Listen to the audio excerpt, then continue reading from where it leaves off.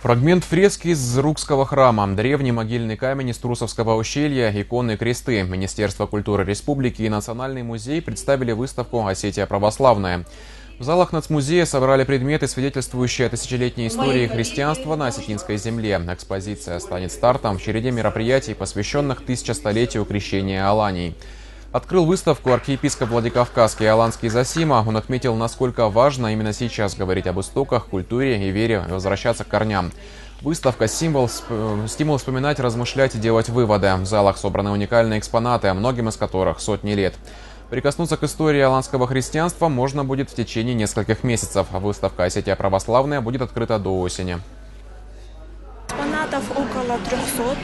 Э, экспонаты все в основном из фондов Национального музея.